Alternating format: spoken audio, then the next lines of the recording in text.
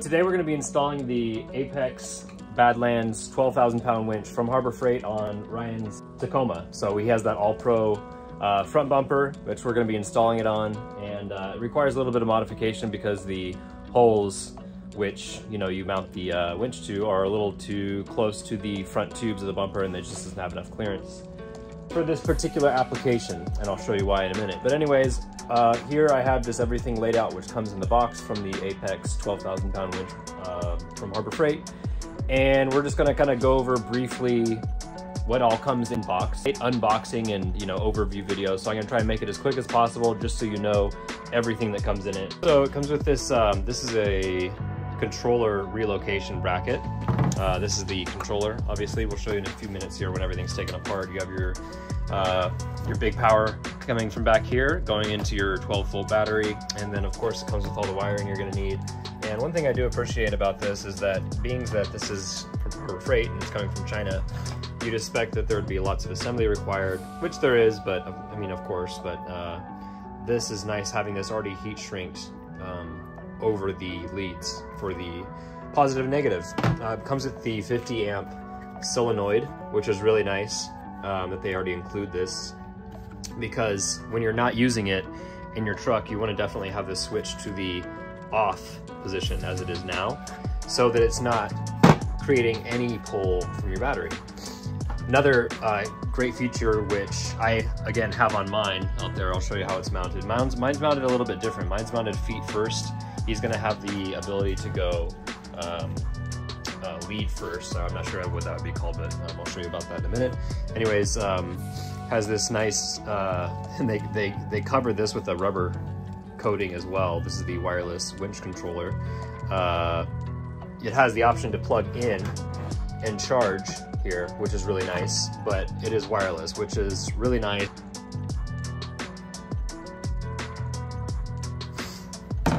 Comes with your uh, Badland jet tag for Harbor Freight fanboys, I guess. Uh, and then it's gonna come with all of your necessary hardware. Aluminum Hawse Fairlead, uh, which is great for synthetic line, which this has. Um, obviously the Apex only comes in synthetic, which is really nice. It's actually really light comparatively to uh, most winches for its size for a 12,000 pound winch. Uh, there is a brake here or a, a clutch, so it has your uh, clutch here for free spool, so you can just have it on uh, free spool here, and then you'll be able to just pull your, your line out, and then if it's engaged, obviously the gears inside will be engaged and it won't come out unless you use the controller. Uh, comes with some extra stickers, and we're trying to figure out what these are. They're like Velcro, um, like little covers for something. It looks like maybe an effort to be a tree trunk protector or something. But uh, anyways, yeah, that's all that's going to come in the box, and then a nice long um, covered with this uh, really good. I forget what it's called again. They use it, you know, you use its automotive use um, for you know temperature and weather protection. Anyways, what we need to do is the holes here on the All Pro bumper are big enough to accept the studs for the uh, winch uh, the, to mount the feet in. The only issue is it, the front of the uh, winch comes into contact with this front tube here. So what we're gonna have to do is we're gonna have to take measurements and then instead of these holes, we're gonna have to actually drill a hole or four more holes further back about a half inch. Okay, so as it sits in here and it, sit, it does fit correctly, but the front fascia or the front part of this plate is contacting here on the tube. I'm gonna go ahead and use my, um, again from Harbor Freight, it's a little bit bigger size of a, a drill just so it makes it easier to get pressure on that because going through steel can be kind of a chore. So having that extra weight of that drill will definitely help.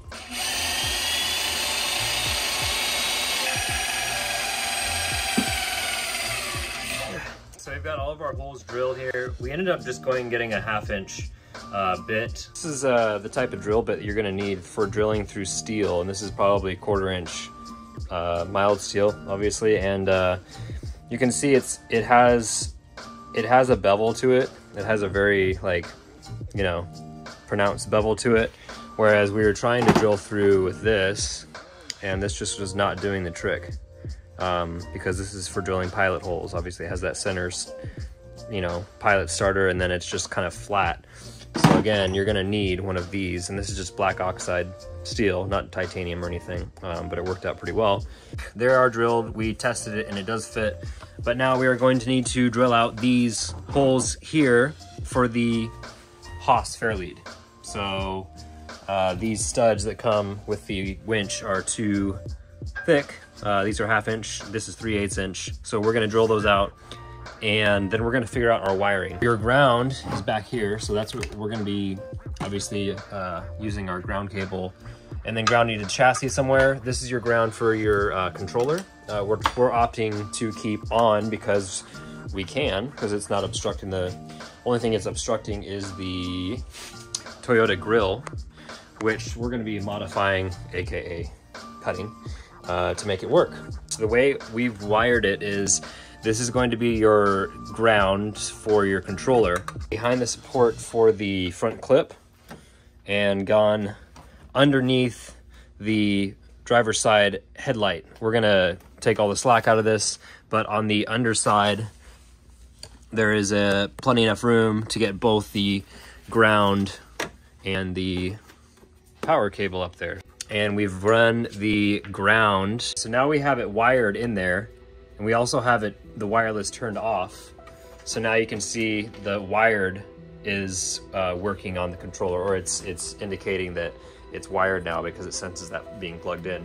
So we'll go ahead and, um, and the way you get, I'll show you how to, it's really easy to get the hook to mount like this, which looks cool. And obviously it keeps it from, keeps you from having to, you know, mount it or, uh, you know, put it on shackles somewhere and have the excess coming out. So Ryan's gonna go ahead and push the out button in a sec here. It is engaged, so if, uh, I don't think we can actually, oh, we can turn it to free spool. So let's just try this real quick.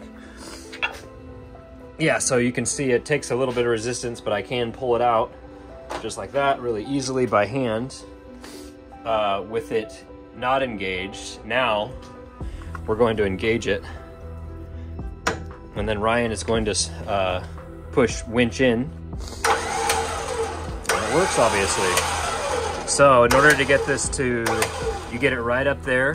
One more, one more, yep, right there. And then swivel it, obviously. Just be very careful to keep your fingers on the outside here. You don't want to have to, you know, risk something. Anything bad can always happen. That's what I always try and, you know, picture or, you know, keep in my head. So when you're using, yeah, Murphy's Law, when you're, when you're working with something with this much, you know, power, amp draw, then you don't, you just don't want to have your hands in a piece of machinery like that. Anyways, when you get it up to this close, you just kind of check it with a, a few different presses and then uh, you, you test uh, how tight it is in there. So go ahead, Ryan. Go ahead. And then you can kind of hear it, it, it clicked right there, it stopped. And I mean, that's, it, it's gonna work itself loose eventually and I always just, you know, after a few weeks, I'll go ahead and tighten mine up. But I like that, that clean flush look like that. Um, anyways, yeah, so that's all in. Just remember guys, when you're done to turn your solenoid to the off position so that it's not, you know, draining your battery at all. Anyways, uh, we're gonna get everything cleaned up and tucked in, and then we're gonna go ahead and uh, look at the grill and see how much we need to cut out of that. We're gonna just take off up to the Toyota emblem because I mean, to have it look aesthetically pleasing, that would be ideal. So what I'm gonna do is cut from here, I probably just go straight across um, this area here, and then we're gonna test fit just to make sure we can get the emblem in. And if we can, then it's a win-win. Um, lose, we're gonna lose just this bracket here. So it will still be, you know, pretty secure in there, but we're gonna just take an angle grinder to it real quick. This is the finished product. Uh, yeah, I think it looks really good in there. It's pretty cool too, like this bumper is really nice how it, it's like completely exposed. Like in mine, the ARB is just kind of, it covers the whole thing. So the only thing you see really is the fairlead. You know, it's just back there.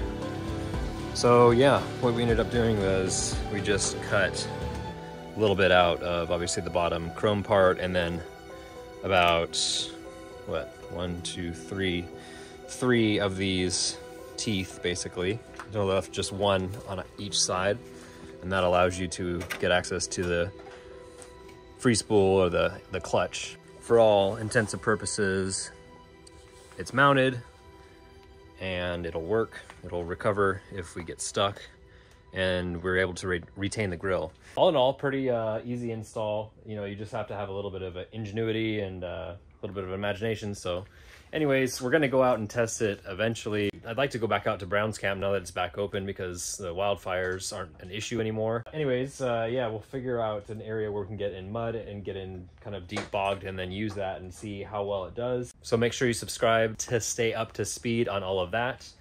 And until next week, I will see you on the trails.